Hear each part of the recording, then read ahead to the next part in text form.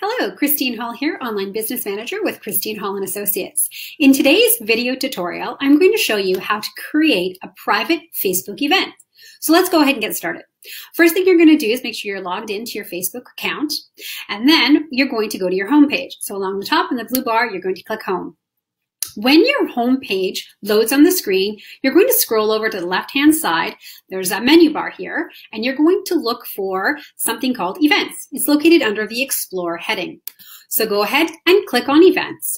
When you click on Events, it'll show you your Events page. And what you'll see here are upcoming events that you've been invited to or you've created yourself.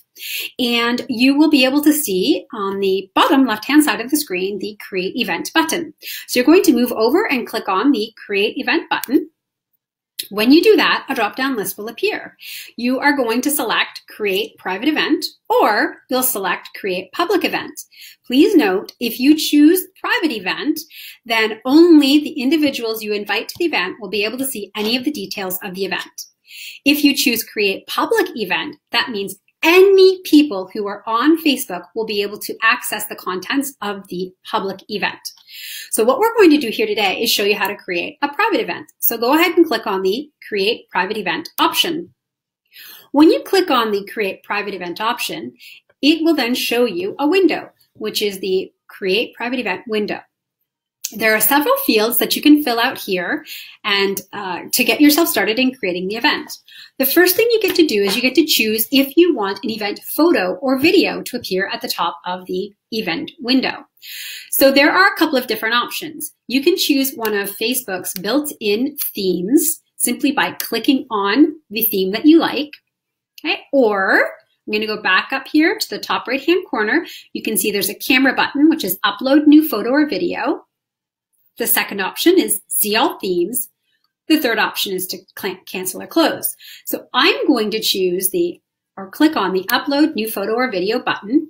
And I have gone ahead and created using Canva, I have created a Facebook event picture, the exact dimensions of the screen. So here it is. I'm going to go ahead and click open and it'll appear here as well as in the event window. So now that I've decided on my image for the event, I'm going to go ahead and move down to the event name and I'm going to type in Facebook training as the event name. Um, once I've done that, I can move to the location field and this is going to be an online event. I'm going to type in online. If this is a physical location, you could type in the full address and that would actually allow it to be a hyperlink in the event window itself.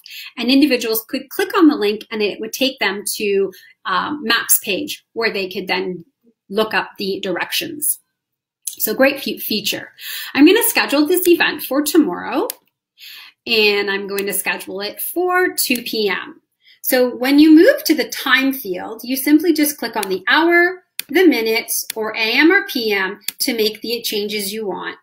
The other option you have for choosing your time is, um, or sorry, the other option you can apply here is an end time. So I'm going to go ahead and click on end time, make sure the date is correct. It defaults to a three hour meeting or event. I'm going to change that to one hour by entering in 2 p.m. for the end time. And then I'm going to head, move down into the description field. Learn how to use Facebook for business. So that's my event description. You go ahead and enter in your description.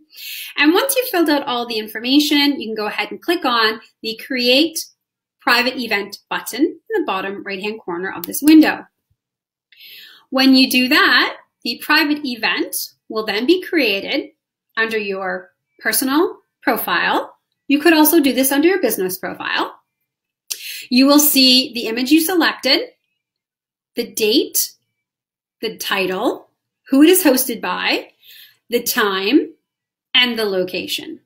So all of that information has been entered in and it's ready to go for you to start entering in your various posts, uploading images, videos, tags, whatever you need to do to get your event set up that's it for now. I hope you enjoyed this tutorial. My name is Christine Hull. I'm online business manager with Christine Hull and Associates.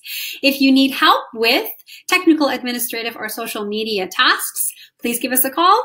All of the comments, um, look in the comment section, pardon me, for contact information. We'd be happy to help you out. Have a great day, everyone.